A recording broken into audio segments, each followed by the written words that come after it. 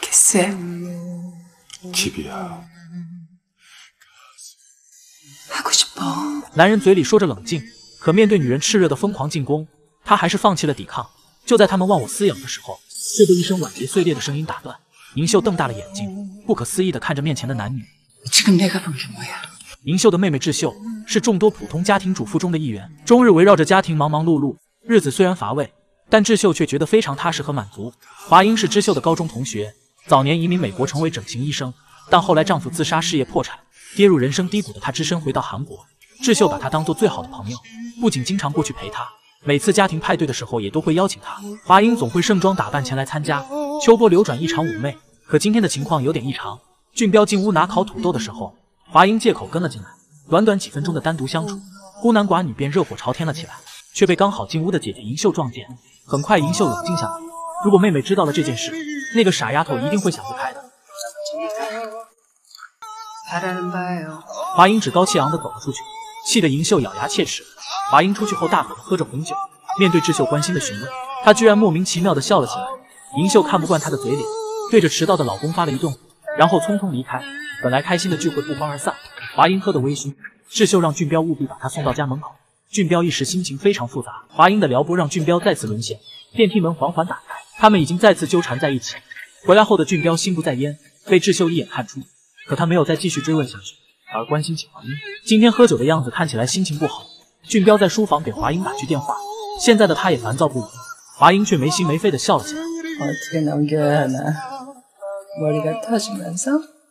俊彪希望大姨子会保守秘密这样对所有人都是件好事可华英却突然问他那我怎么办呢？另一边银秀怎么也睡不着？她越想越生气，决定上门为妹妹讨个说法。 그거는 좀 더 일찍 오든지 아니면 날 봐야 너 정말 빤빤하구나. 面对银秀的责骂，华英不怒反笑。 감당이 안 되면 난 웃음이 나와요. 银秀大骂他是个神经病，这种时候不应该是低声下气吗？银秀终于忍不住大打出手，可华英依然不肯放弃。银秀只好改变策略，说智秀把她当最好的朋友，怎么忍心对待那么善良的人？第二天，华英把被打的事告诉俊彪， 男人马上过来安慰华英问他接下来怎么处理。俊彪却表示不愿意破坏家庭银秀着实被华英气得够呛。她先是到学校找到俊彪限他在一周内处理好和华英的关系因为自己快被逼疯了不知道什么时候会说漏嘴然后他又把华英喊出来当别人越焦躁不安的时候她反而笑得越开心。银秀退还给他租房的押金让他赶紧搬出这里并表示刚才俊彪已经答应会和他结束。银秀苦口婆心的劝他离开这里重新开始他的生活但华英却不以为然。他表示不能接受这笔押金钱，因为这钱是你的妹夫俊彪帮他的。华英又得意的笑了起来，那一副欠揍的样子真让人生气。晚上，银秀来到妹妹家，得知俊彪又不回家吃饭，便问道。姐姐的直白让智秀有点羞恼。银秀却不依不饶追问。智秀表示理解老公因为工作压力大，所以习惯转过身子直接睡觉。她并没有放在心上，俊彪此时正和华英在一起。정리 안 됐다면서. 그럴 수밖에 없었잖아. 华英问他准备怎么处理，俊彪有点退缩，他不想放弃智秀破坏家庭。华英生气的起身要走，却被俊彪一把拉住。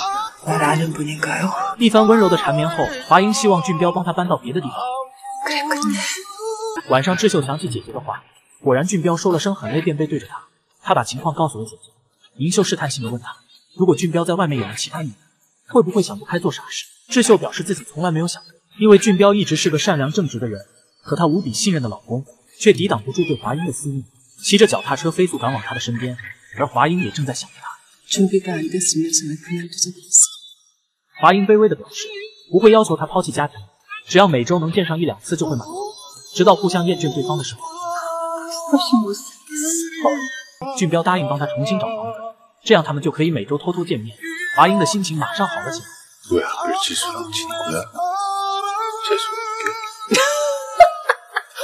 第二天，华英告诉银秀，他和俊彪的关系已经结束了。银秀虽然有些疑惑，怎么会结束的这么简单，但还是庆幸在智秀知道前处理好。晚上，智秀来找华英，华英突然问他，智秀说：“幸福这两个字，总是给人一种很不安的感觉，好像很快就会消失。”智秀听说华英要离开，非常不舍。他希望华英能走出挫折，重新振作起来，积极面对生活。可华英很讨厌他的关心，让他不要再做这种倒胃口的天使行为。나 좋은 사람 아니야. 너한테 이득될 거 하나도 없는 사람이야. 回去后，智秀给姐姐打去电话， 告诉他华英要离开这里了，一个人到处漂泊一定会很孤独。他很想把华英留住，拜托姐姐帮他找个合适的再婚对象。银秀对妹妹非常无语，明明自己被华英无情的背叛，却还时刻想着怎么关心她。被姐姐教训了一顿，智秀又进屋去找老公俊彪，问他学校里有没有合适的对象，可以介绍给华英。俊彪也被他搞得无语死了。 可智秀口中可怜的闺蜜，第二天却笑颜如花，和她的老公俊彪一起去看新租的房子。他们一起吃饭的时候，俊彪突然接到智秀的电话，他忘记煤气的开关是不是关了，让他去确认一下。虽然他现在根本不在家里，但还是不假思索的撒谎已经关好。他们腻在一起直到很晚。俊彪赶到丈母娘的祭拜现场时，已经迟到了快一个小时。智秀回去后有点生气，她更是发现煤气根本没关好，俊彪却恶人先告状。 아, 한창 연락에 쓰는데 성가스럽게 일 같지도 않은 일 시키니까. 智秀低声下气的道歉，表示自己以后会更加小心。她向最好的闺蜜诉苦。华英告诉她，这个时候不要忍让。 그런 땐 싸워. 왜 그렇게 봐줘?智秀却不以为然。另一边，银秀并没有相信华英，果然收到了他们还在一起的照片。银秀把照片拿给老公达三，男人被这个消息刺激的兴奋起来。达三把俊彪约了出来，告诉他也了解他和华英的关系。 华英可是智秀最好的朋友，俊彪一言不发的喝着酒。听达三说完，他才淡淡的表示和华英的关系已经结束。达三这才告诉俊彪，银秀早就派人跟踪他们，知道了他们一直还在偷偷约会。俊彪听后惊慌失措，银秀难忍怒火再次找到华英。看着他一脸不在乎，依旧满嘴谎言，银秀气的一巴掌打了过去。一个 Monday。华英看到那些照片惊呆了，银秀威胁要把他和俊彪送进监狱，华英却不甘示弱。掏起平底锅用力的砸向银秀。银秀彻底被他激怒了，使出柔道功夫与华英展开搏斗，把华英打得倒地不起。银秀走后，华英打电话给俊彪，可一直无人接听。他不甘心的看着自己被打肿的脸，做出了一个重要的决定。第二天，华英戴着墨镜来到智秀家中，智秀觉得非常奇怪，华英便把眼镜取了下来，告诉智秀是被你姐姐打了一顿。智秀还以为她和姐夫发生了什么事。华英有点想笑。 네 남편. 난 네 남편 사랑해. 네 남편은 나 사랑하고. 찾네.华英笑他是装笨还是真的很笨？四十岁的男女相爱，还只会单纯的牵着手去游乐园吗？智秀问他在哪里上过，在酒店，在家里，在很多的地方， 몇 번이나?중요해?몇 번이나?没有具体算过，但应该很多次，一星期两三次的样子。 智秀的呼吸逐渐变得急促，华英有点慌乱，但很快便冷静下来。他找出来一个塑料袋，指导着智秀如何正确的呼吸。智秀的呼吸慢慢恢复正常，华英终于松了一口气。智秀问他为什么要这么做，他不知道怎么回答。那你为什么要亲自告诉我呢？因为我不想被银秀打死。第一次我没有还手，可我没有理由承受第二次。智秀依旧耿耿于怀，难道是我做错了什么？你在报复吗？华英说你对我很好我的亲人都没有你对我这么好可这真的无法抗拒就在这时银秀也匆匆赶到这里看她被气得暴跳如雷华英又得意的大笑然后头也不回的走了出去。不久后她又突然返回告诉她如果智秀出现呼吸急促记得用塑料袋套住她的嘴这么多天一直像个傻子一样还张罗着帮华英介绍对象。智秀质问姐姐为什么不早告诉她银秀心疼的把妹妹搂在怀里。此刻他们都恨极了男人。华英回到家里坐在浴缸里失声痛哭，他知道为了得到一份夹缝中的爱，自己将会失去更多。智秀表示自己不会想不开的。打发走了姐姐后，他却再次忍不住掩面哭泣。婚姻的背叛带给女人太大的伤害。华英把事情告诉了俊彪，俊彪匆匆赶过来，对着他怒吼：“我们这不算是犯罪吗？”可看到华英脸上的淤青，他还是心软了下来了。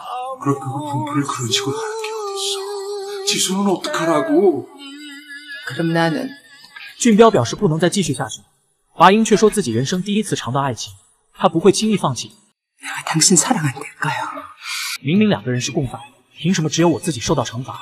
所以你也回去接受代价吧。俊彪却再一次退缩智秀是跟他生活了十年的妻子也是孩子的妈妈。所以他不想再继续下去。俊彪不知如何面对智秀他找到经验丰富的姐夫求助达三让他低着头进门然后飞快的跪在智秀的面前像只苍蝇一样不断的搓手求饶。可俊彪刚到家准备道歉时智秀却不想跟他说话此刻他的心像被掏空一样难受。他来到华英住的地方，看着客厅摆着偌大的沙发。智秀不想坐在这个肮脏的地方，华英却表示无所谓，一张沙发而已。智秀问他：“你考虑过我吗？你最低落的时候，我那么帮助你。”可华英却表示，他们的爱太过于炽热，炽热到对你的存在根本无所谓。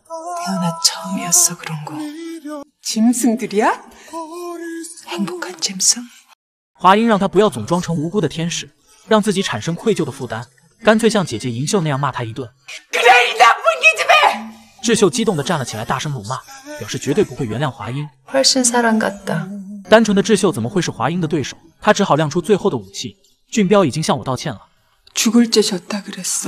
可华英却一眼看穿，你就是不相信他的话才来找我的吧？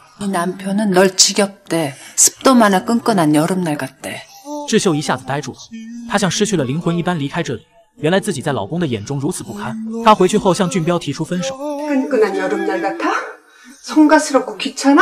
俊彪觉得非常郁闷他打电话质问华英自己什么时候说过这样的话？华英却大笑着表示说的都是事实啊。俊彪无语的想挂掉电话华英却突然问他俊彪只觉得此事非常头大银秀还在尝试着安慰智秀一定要选个黄道吉日到华英家里，把那该死的沙发砸烂。这反而让智秀觉得更加伤心。俊彪还想和智秀好好谈谈，可智秀却不让他进屋。他喝着酒蹲坐在智秀的房门外，慢慢向智秀敞开心扉。他多么希望智秀不知道这件事，因为和华英迟早都会结束。很多次有这样的想法，却一直做不到。男人喝醉后的真话让智秀心痛的呼吸再次急促起来。他赶紧跑出来找到塑料袋，学着华英教他的方法慢慢调整。智秀非常不甘心，自己二十年的努力只是一个笑话。只要一想到华英的嘴脸，他就莫名其妙的想发脾气，对自己，对俊彪，对姐姐，他像个炸弹一样，随时都会爆炸。婚姻的背叛，把一个善良的女人折磨得面目全非。俊彪知道自己罪孽深重，这段时间也一直躲避着华英。 보고 싶어. 可华英的思念已经逆流成河， 만지고 싶어. 俊彪吓得赶紧挂断电话。晚上全家一起吃饭的时候，儿子突然语出惊人。 영원하실 거죠? 俊彪和智秀都非常惊讶。 姓名说自己不是小孩子，知道爸爸在外面有了别的女人，但父母既然把他生了下来，就应该负责到底。姓名的话动摇了智秀离婚的决心，他告诉姐姐银秀，以后要为了自己和儿子而活。他又去找华英，让他不要再介入他们的家庭，自己不会和俊彪离婚的。但是华英思考了一会，却说出一番让人震惊的话。智秀一下惊呆了，他的三观被彻底的震碎。可华英却告诉他，你不同意离婚。其实已经接受了两个半人一起生活，再多半个人也差不了多少。华英把今天的事告诉了俊彪，男人此时进退两难，他一直犹豫就是不想做出选择。可华英却步步紧逼，晚上俊彪想亲近却被智秀一把推开。智秀问他当初的那份爱去哪了？他说已经随着婚姻慢慢枯萎。这句话让智秀心寒到全身发抖，他心中的小恶魔仿佛也要觉醒。他把这个想法告诉了姐姐不知道自己怎么突然变成这个样子。姐姐安慰他被背叛的女人都会有这样的想法。然而更可怕的是智秀刚产生这样的念头一个精壮的男人就及时的出现了。在姐夫的建议下俊彪决定和智秀出去旅游散心。这个总是借口很忙的男人终于第一次带上老婆出去放松。虽然表面上若无其事可智秀的心已经被撕成一片一片再也没有复原的可能而两个人的交谈也不再像从前那样心平气和。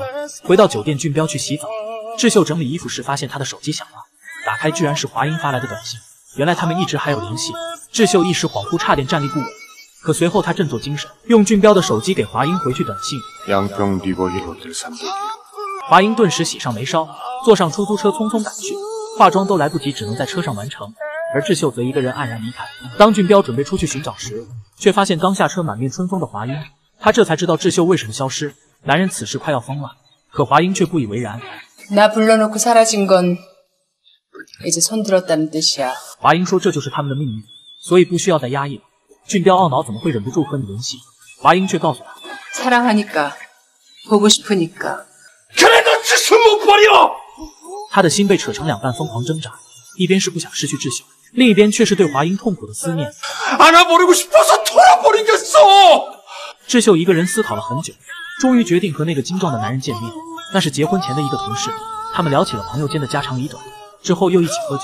智秀吐露了自己感情方面的苦恼，男人也表达了他的爱慕。不一会，智秀有点喝醉，他提出想去参观男人的画室，男人笑着说下次一定。智秀却突然语出惊人， 나 데리고 한번 자줄래요? 见到男人好像被吓住了，智秀不禁懊恼。可对方犹豫的样子，让他怀疑自己是否如俊彪说的那样，没有一点女人的感觉。可男人却坚定地说：“你很女人。” 如果你没有结婚， 我一定会把你据为己有。他劝智秀不要这样作践自己。智秀幡然醒悟后匆匆逃离。终于等到了智秀回来俊彪却恶人先告状。我说过会结束你为什么不相信我？智秀让他闭嘴。他怎么可能还会相信这个男人？第二天智秀提出离婚男人却厚颜无耻。他说自己多么努力在维持可你非让事情发展到这个地步。智秀随后叫来华英表示在儿子上大学之前他和俊彪不会办理离婚手续。俊彪依然要承担一个父亲的责任。这下正如你所愿，三个人真的要一起生活了。看着从天使被逼成恶魔的智秀，华英再次放出狠招。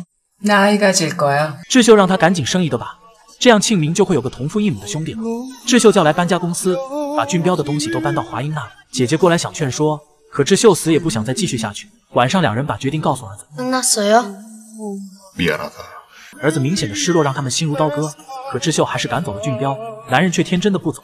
那叫我继续啊。安哥的人，智秀的拒绝斩钉截铁。这个男人还有什么值得自己挽留呢？一个家庭轰然倒塌，另一个女人却在欢庆胜利。她的无耻和残忍，只为了那个男人尽快走出模棱两可，再也不用偷偷摸摸，再也不用思念成河。她终于可以完全拥有那个男人。可华英一遍遍拨打着电话，俊彪始终都没有接听。于是他便把电话打给了智秀。智秀不想和他说话，挂断电话，上楼发现儿子还没有睡觉。这段婚姻的失败，同样也带给孩子深深的伤害。智秀搂着儿子说着对不起可此刻他除了哭泣还能怎么办呢？华英终于等来俊彪的短信。他急忙拨通俊彪的电话原来这个可恶的男人竟一个人躲到偏僻的小岛平静心情看到海滩上开心奔跑的母子他的心中隐隐作痛。华英终于也找到了这里可俊彪说不会跟他住在一起。华英有点失望却表示理解。男人还在为伤害了智秀而难过。华英说难道我就不难过吗？他当然知道自己的行为是可恶的，可爱情让人自私，不如索性一坏到底，哪怕被谴责致死。他却早已做好了燃烧自己的准备。两人回到家中，华英早就准备好了一切，他对即将到来的生活充满憧憬。可他没想到，这并不是他们幸福的开始。华英憧憬着幸福的未来，可俊彪却好像满腹心事。他借口出去办事，来到原来的家中。是的，他想念孩子了。可智秀却冷冷地告诉他，这里已经不是你想来就来的地方。俊彪在门口待了好久，一直等到夜深他都没有回来。华英突然有点难过，可一听到俊彪开门的声音，她马上破涕为笑。他雀跃着跑进男人的怀里。这份好不容易得到的爱情，怎么会不害怕失去呢？华英终于安心的睡着，可半夜却被一阵急促的电话惊醒。俊彪的儿子生病了，他穿上衣服忙不迭的赶了过去，留下华英一脸的无可奈何，终于有惊无险的回到家。可刚把孩子放到床上，智秀便冷漠的让他马上离开。俊彪死皮赖脸的留下来喝杯咖啡，他说智秀是一个满分的妻子，可自己却迷失在每天的一成不变中。智秀非常不解，生活怎么可能时刻怦然心动？就在两人快要吵起来时，华英突然打来电话。他让智秀尽快把俊彪送到他身边，并怀疑孩子真的生病了吗？智秀被气得火冒三丈，骂他真是个无可救药的恶毒女人。华英盯着闹钟，一直到天亮。俊彪终于回来了。这些年一直都是智秀带孩子上医院，他终于理解家庭主妇的辛苦。第二天早上醒来，华英精心准备了西式早餐，俊彪却好像并不喜欢。他妈都去吃饭了。俊彪要出去上班了，华英却依依不舍。男人拿出一个信封，告诉他里面是这个月的生活费。华英一时有点感动。原来这个表面坚强的女人，渴望的是如此微不足道的幸福。华英突然来找智秀，为那天怀疑孩子生病的事道歉。因为没生过孩子，所以不知道那种感觉。但你真的没有一点报复的想法？智秀仿佛被戳中了心思，有点羞恼，让华英赶紧离开。华英让他以后再有事情找俊彪，跟他联系就好。因为你已经把他让给我了，现在他是我的男人。智秀被他气得有点愣住。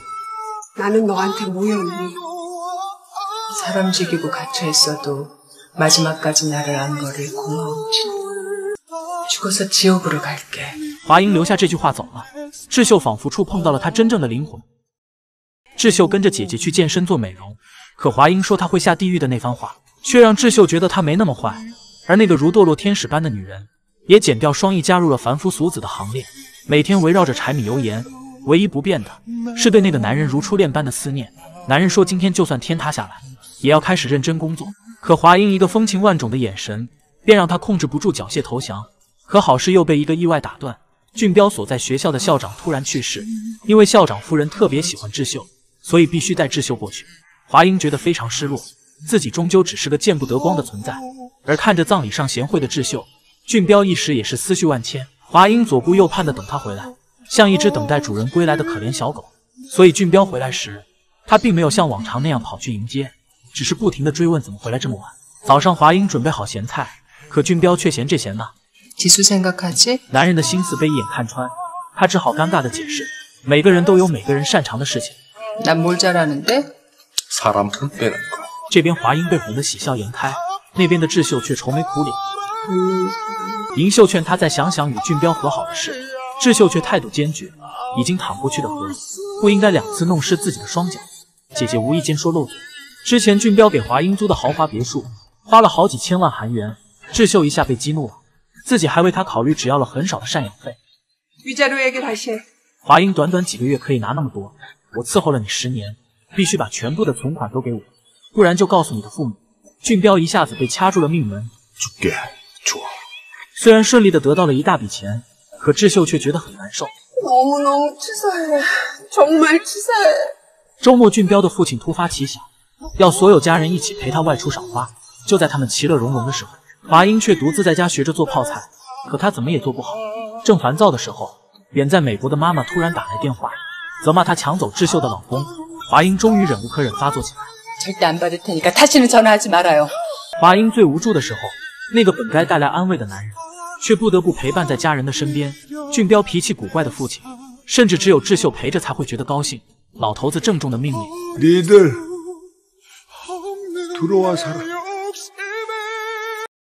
俊彪一时苦恼不已他希望智秀帮忙劝劝父亲可智秀却觉得能坏了华英的好事自己为什么要阻止？大姐知道这个消息也是开心不已。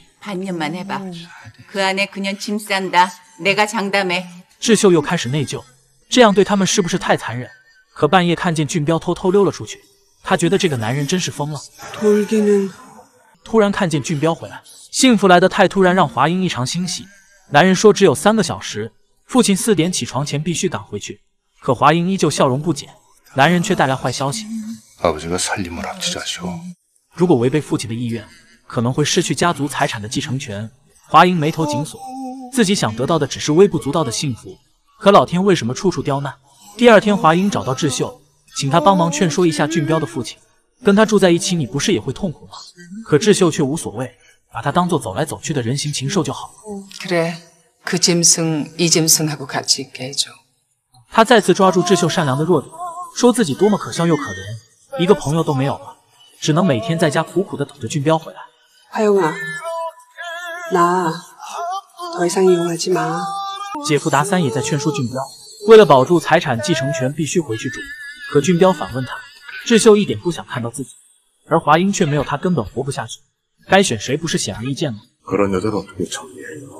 可这个嘴上说的好听的男人，回家却对华英各种嫌弃，说他做的炒饭太硬，听歌的声音太大影响自己工作，甚至华英被冷落想撒娇一下，都被男人借口工作拒绝。而这些事情，哪一件不是智秀曾经天天面对的呢？早晨，华英正做着早餐，智秀突然打来电话，老头子紧急召见俊彪两口子过去。俊彪通宵工作不想起床。这一声老婆让华英心情复杂男人解释只是叫顺口可华英听着却觉得异常刺耳智秀只好一个人来见老爷子虽然他想报复华英可终究没有完全卸下天使的翅膀他好说歹说终于让老爷子放弃住在一起的想法俊彪知道后欣喜不已然后打电话由衷的感谢了智秀。智秀心里却开心不起来他和姐姐一起逛超市却看见华英和俊彪也在这里。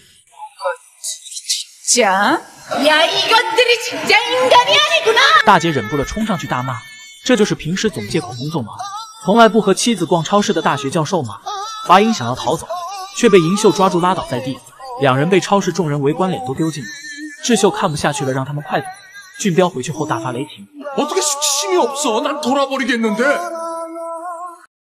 可华英却反问：“我没有羞耻心，还不是为了和你在一起？”冷静下来后，俊彪安慰他：“已经不用搬去和父亲一起住了。”言语间却都是智秀的功劳。华英又被气得不想和他说话。俊彪叹了口气，然后给智秀发去一条短信。正在这时，华英突然到访。他向智秀诉说自己的孤独。那个人吃完晚餐就回书房工作，自己则无事可做。真想找个地方大哭一场，可是能想到倾诉的人居然只有你。他自怨自艾地说：「这是自己做了盗贼应该受到的惩罚吧？」再次回到家中，华英的心情已经好了不少。洗了个澡，打开了音乐。可俊彪却嫌声音太吵，华英只好一个人躺在床上看书。男人却想念起了智秀，那个姐姐过来都怕打扰到自己的女人，和华英的差别太大了。第二天，他们又为衣服产生争执，华英非让他穿的鲜艳一些，可俊彪已经习惯了古板的穿着。两人各退一步，他最终还是戴上了粉色的领带，开始了一整天的不自在。儿子庆明的生日快到了，可他却并不想庆祝。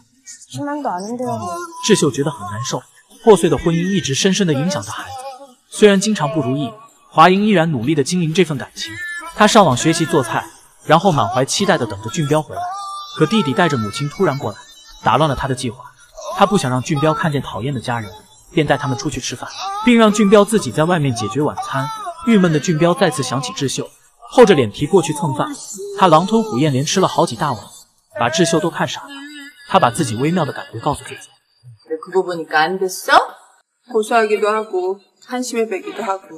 晚上回到家，华英搂住俊彪，发现他的肚子鼓鼓。得知他是去智秀那里吃的晚餐，他又不开心了起来。虽然自己刚学会一道蒸土豆，还是迫不及待拿去让俊彪品尝。可男人刚吃过前妻的美食，对这土豆哪里还有兴趣？华英说：“那你待会陪我出去走走，天天窝在家里等你回来，回来却只顾着工作，把我晾在一边。”俊彪却非常为难，因为待会他要给庆明过生日。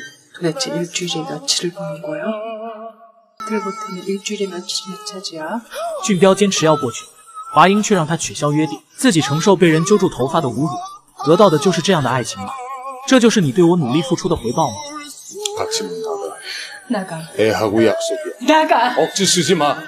当轰轰烈烈的爱情慢慢走向争吵，他们还能坚持多久呢？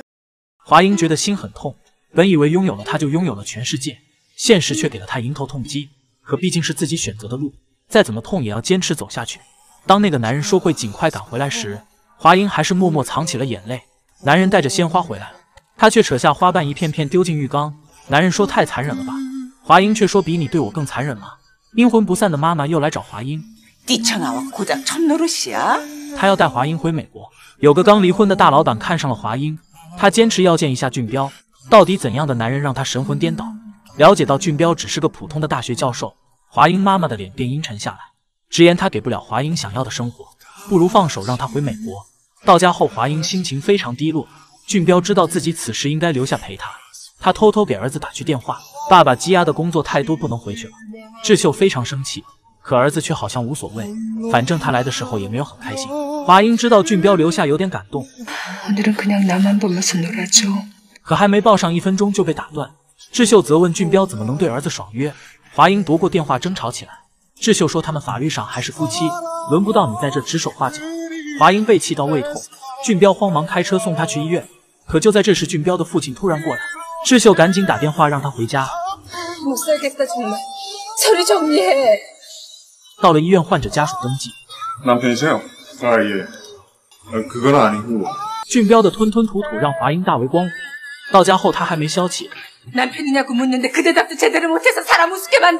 华英此时快要疯了，这真是那个让自己奋不顾身的男人吗？这一瞬间，他有些气馁。俊彪问他是不是胃还是很痛，华英摇了摇头，这次胃不痛了。但心却更痛。就在华英快坚持不下去的时候，智秀也想到了放弃。他对儿子说：“妈妈可能撑不下去。”姓名懂事的安慰他：“没关系。”他也看不到爸爸有回归的希望。之前联系上的那个男人也在慢慢的走进智秀。听说智秀想开一家三明治店，男人马上送上鼓励和祝福。华英躺在床上越想越难过，这根本不是自己期待的人生。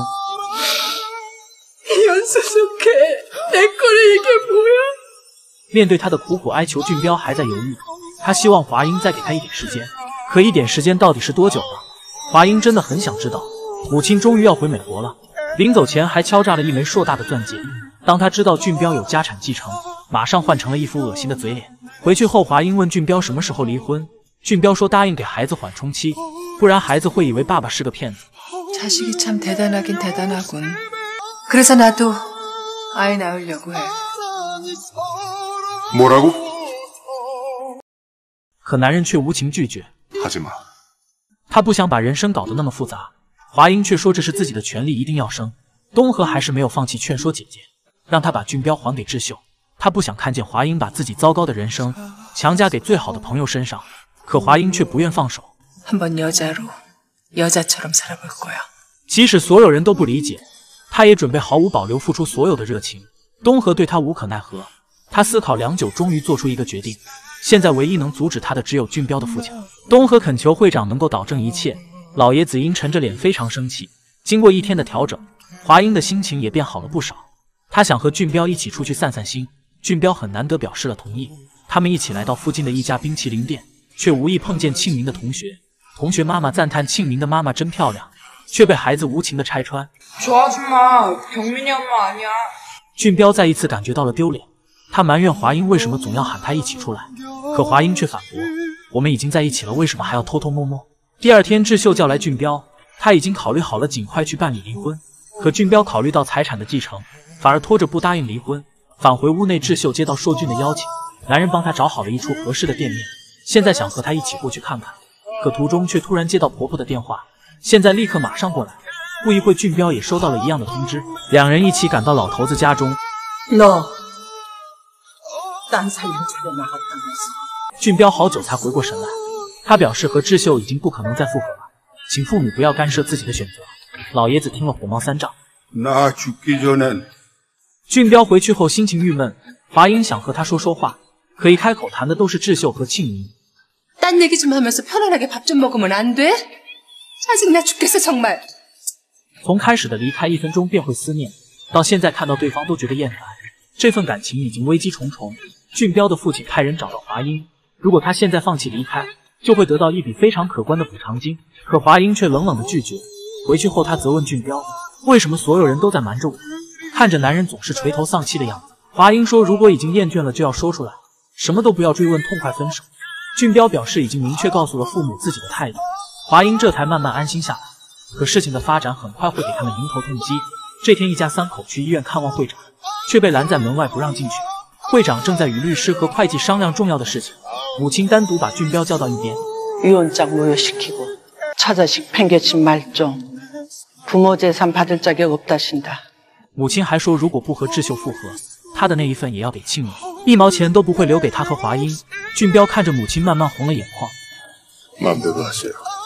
他觉得父亲对自己好苛刻，一直拿财产为难他做出抉择。当初阻止他和智秀结婚是这样，现在阻止他和华英在一起还是这样。俊彪伤心的含泪离开，也意味着他和华英接下来的生活将会迎来更大的挑战。俊彪把母子二人送回了家。却瘫坐在沙发上不愿意离开。智秀看他可怜的样子不忍心赶他走。他也终于对智秀说出抱歉。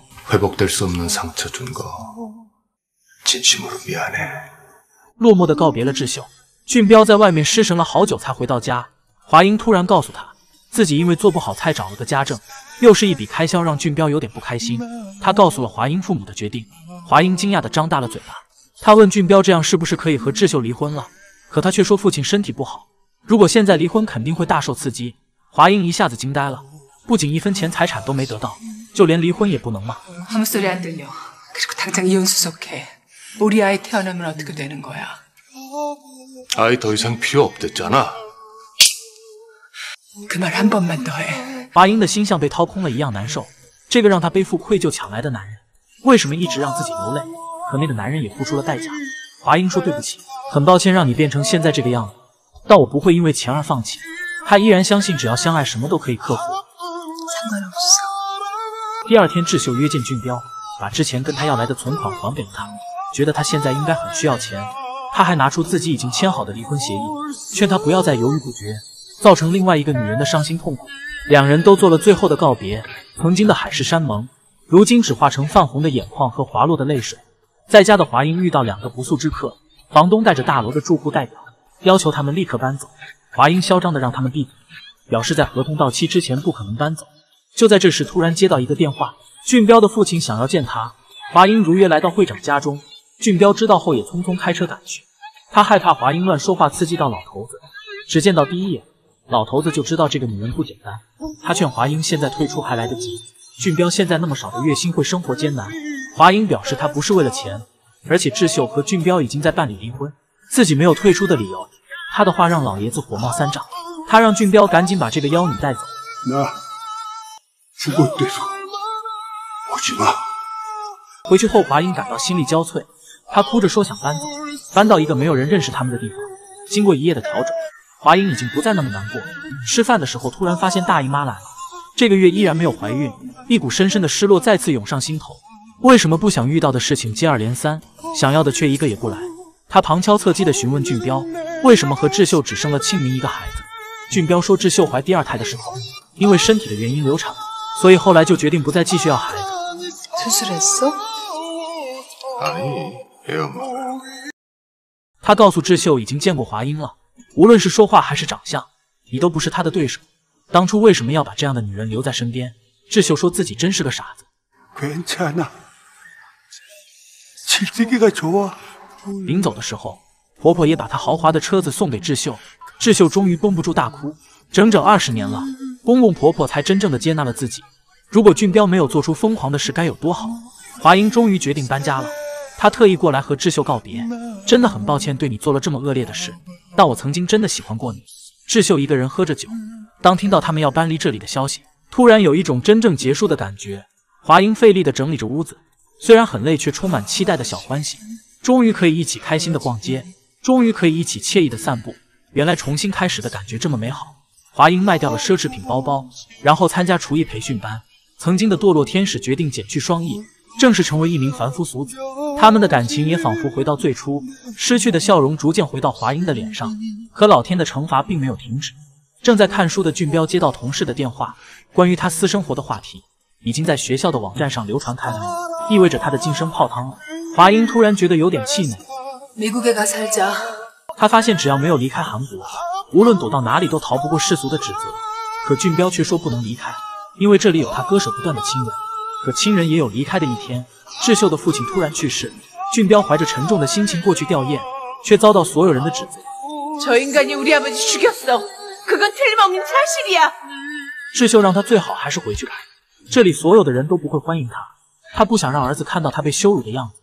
看着伤心的智秀，俊彪羞愧的心仿佛痛得无法呼吸。时光飞逝已是一年之后，陷入爱情的华英仍在苦苦煎熬，脱离婚姻的智秀却是春风得意。他的三明治店生意兴隆，甚至和硕俊的关系也在逐渐升温。华英却发现自己还没怀孕。他让俊彪今天空出两个小时的时间，和他一起去医院做个检查。 나도 피임 안 하고 당신도 안 하는데 이상하잖아. 华英检查过自己一切正常，可俊彪却眼神闪躲，好像有什么秘密。 당신 아이 못 가져. 그게 무슨 말이야? 수술했어. 华英简直不敢相信自己的耳朵，好像晴天霹雳当头一击，又好像被人从头到脚浇了一盆凉水，全身麻木。 만지지 마. 我一次次充满期待去医院检查，想尽办法求你上床。 原来你只是在装作若无其事看我表演。俊彪请求他体谅一下自己不想让庆明认为他是个毫无责任感的父亲。可为什么你总是那个被体谅的人？智秀因为体谅你而被伤害而我也让以前的李华英消失无踪慢慢把自己变成金智秀。华英终于认清男人的卑鄙自私对他的话一个字都不相信。除非他马上去医院恢复。我的哥呀。他们现在他娘的拿木棍打你你搞？华英一个人出来疗伤不知从何时开始自己好像流尽了这辈子所有的眼泪她平复了心情终于回来可她却说虽然可以继续一起生活但不会像以前那样爱你。了我只是想和最爱的人生一个孩子可惜你现在已经不是了。华英在这里一个朋友都没有所以最失落的时候她又想起智秀她佩服智秀可以和那个男人生活那么久。难道不觉得她很自私吗？智秀却说那个男人曾经不是这样。是自己凡事都以他为中心，所以他才慢慢变成现在这样。华英却始终不能原谅，一个口口声声说爱我的男人，却不希望我为他生孩子。智秀忠告他不要试图做一个完美妻子，自己就是因为那样，让人慢慢感到厌烦，最终被抛弃。告别智秀，华英来到一个小饭馆，只有把自己灌醉了，才不会有那么多的烦恼吧。只有把自己灌醉了，才能面对那个卑鄙自私的男人吧。华英的妈妈从美国回来她径直来到会长家中开口就要了二十亿韩元的精神补偿。华英知道后崩溃了她告诉俊彪的母亲与自己无关。可无论她怎么解释俊彪母亲的态度依然坚决。华英回去后哭着恳求母亲放过自己那就参加公吧心碎的华英没有人可以倾诉那个曾经可以依靠的男人此刻的拥抱似乎也失去了安慰的作用。智秀想跟俊彪好好谈谈，华英现在过得很不好，但这是你宁愿抛家弃子做出的选择，所以一定不要再让他失望。可已经越走越远的两颗心，还能假装若无其事继续敷衍下去吗？虽然经历一次又一次的失望，华英还是选择留了下来。她让俊彪吃饭睡觉都不要掉以轻心，自己随时会控制不住杀了他。两人开摩托车去安眠岛散心。本来激情的约会之旅，也因为想起一些事变得索然无味。华英说第一次见到你已经两年多了两个人对上眼也有一年半。可你瞒着我去做了结扎手术让我到现在所遭受的各种耻辱都变得毫无意义。虽然每天会活得很无聊但岁月应该会不知不觉流逝吧。回去的路上华英泪流满面因为接下来的生活自己将成为没有梦想的行尸走肉她不想给俊彪做饭两人因为一点琐事都会发生争吵。他让俊彪出去吃饭的时候，带上锅顺便买点解酒汤。